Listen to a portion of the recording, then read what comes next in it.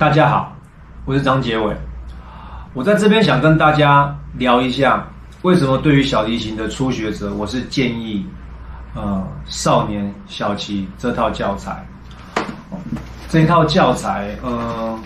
从我小时候哦到现在，我个人认为它是非常适合呃亚洲人学习的，亚洲人的手。我当然我看过很多教材，我小时候也试过不同的教材，美国的、国外的我都试过。那这套教材我推荐它的原因，就是我认为它好好学的话，它可以把基础打得非常好。好，你如果是用铃木啊，铃木跟小旗最大的不同，我认为就是呃，一个是铃木会让你很快的觉得自己拉琴好像拉的还不错，但过几年之后，你就会碰到瓶颈上不去，你就知道你也下不去了。这是我跟很多音乐家朋友聊过的哦，我们都同意这件事情，因为铃木的第一首曲子就已经是小溪第一册的最后一首曲子了。哦，这个进度是差很多，他教导的系统方法其实是不太一样。先让你不放喜欢，然后可是到后面会，我觉得会出问题。那小齐这套教材的缺点就是，一开始可能你觉得有点无聊乏味，但是如果你有走到一段时间，我认为要下去长得好，比人家好，长得正常的状况，几率是比较大的。哦，那小齐这套教材，我简单跟大家讲一下每一册它的。重点呢，第一册的时候，它其实是就是一个很基础的第一把位的练习。他他在右手上面琢磨的东西，我认为是比左手多，但是有很多左手基本的概念的技巧，他都有讲到。所以第一册是一个非常重要的呃一册，尤其在初学，不管你是成人初学或者是小孩，他真的是循序渐进的，他是一条弦一条弦。去教大家，然后升记号是一颗一颗，一个、两个、三个慢慢加的。那这个对于你没有乐理基础的人来讲，我觉得是非常好入手，而且也可以顺便学习乐理。哦，它包括它音符上面的安排，我觉得这个是它的第一册写的其实是非常好。就是大家要记得要有耐心。那到二三册的时候，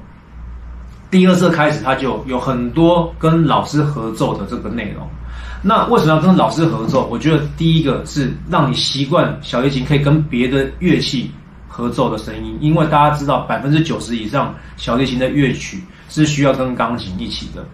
哦，所以你所有的作品基本上以后都是要跟别人合作的。那当然你现在那样的程度，你要去找个钢琴来跟你练习，很不很不方便。那另外一个声部小提琴，你的老师就是一个最简单。可以跟你有这个让你习惯有别的声音跟你一起拉琴的一个很好的机会。再就是说，因为要跟别人练习，哦，要二重奏，所以这个时候你的拍子这些很基础的东西，你要要求到达一个水准，不然你跟别人会合不起来。我觉得他这个第二册的设计是很不错的，到第三册他仍然是有一点点可以跟你合作，然后二重奏这样子的。的内容，然后他开始在很多左手跟右手上面，呃，进阶的技巧，他开始就是要求了。哦，那这个时候，你当然不可能像一一侧、二侧那样子，就是简单的右手或左手技巧。那但是曾经学过东西，他在这边其实你都有机会可以运用。它里面有一些曲子，包括说无穷动，或者是。呃，赛制的一些小提琴协奏曲，我觉得都是非常非常适合学生去运用自己所学，然后可以去感觉一下自己的专注力跟体力是不是可以慢慢的把一个短短的曲子慢慢延长。哦，教材编得很好。四五册的话，通常我们是会先用第五册。好，我很不建议就是先直接学第四册，为什么呢？因为第五册它有呃每一个把位。第三把位以三四五六七，最后是第二把位，哦，一个把位一个把位教你。当然，小提不止七个把位，但你好好把后面这些把位学好之后，你对于以后演奏一些高难度的曲子，它帮助是是很大的。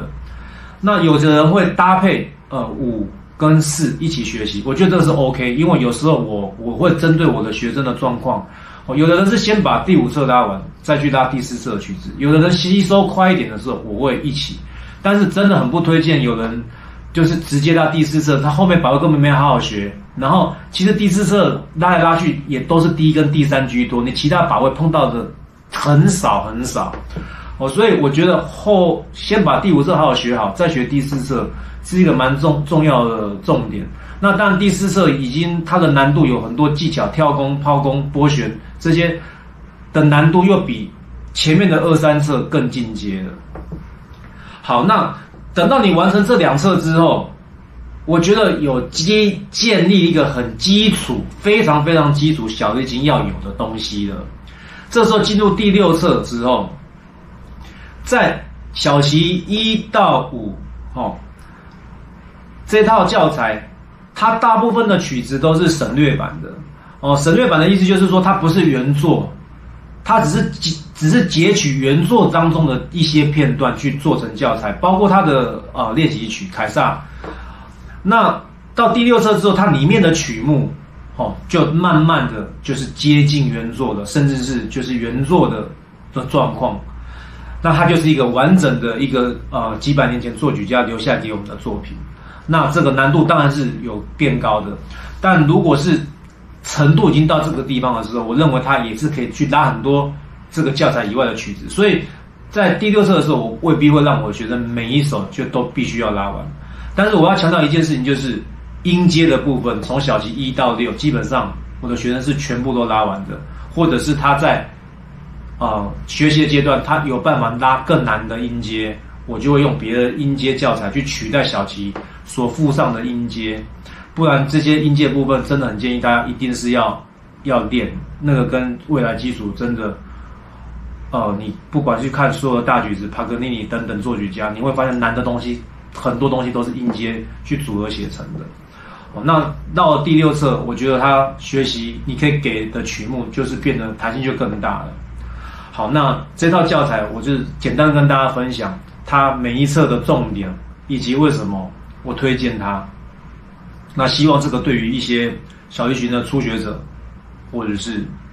不管你以后要不要学走专业的，我觉得这个都很重要。或者是你有在教学生的，啊，这是我的分享。喜欢这个频道，欢迎订阅。呃，有任何小提琴跟音乐相关问题，也欢迎大家来信来询问我。我很乐意为大家解答交流，谢谢。